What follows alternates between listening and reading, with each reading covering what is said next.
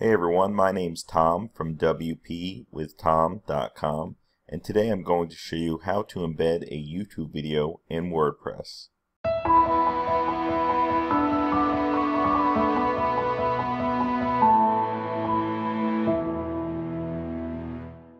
Hey everyone, in this short video I'm going to show you how to embed a video from YouTube into WordPress and I'm just going to start by grabbing a random video off of YouTube and instead of copying this URL here, what we're going to want to do is we'll scroll down to where it says share here and we'll click on that icon and then we'll click embed and this will give you the code that you need for the iframe width and height to put your link into WordPress.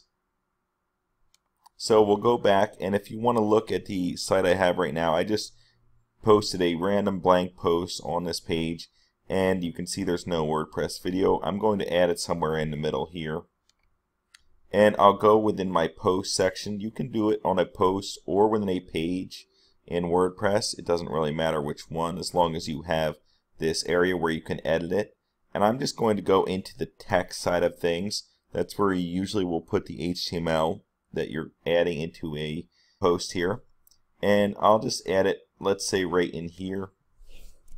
I'm going to make a space and I'll just uh, paste it right into there. And if I want to, I can go back to the visual side and we can see what it looks like in the visual side. And there it is, it shows the video. Now we have to click update here. And now that we're back on the front, we'll uh, refresh the page here and see what it looks like.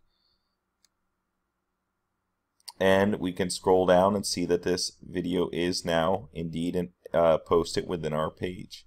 So if you have any questions on how to embed a video, just feel free to reach out to me. I hope this was helpful, everyone. For more WordPress tutorials, please feel free to subscribe to my channel. Thanks, everyone.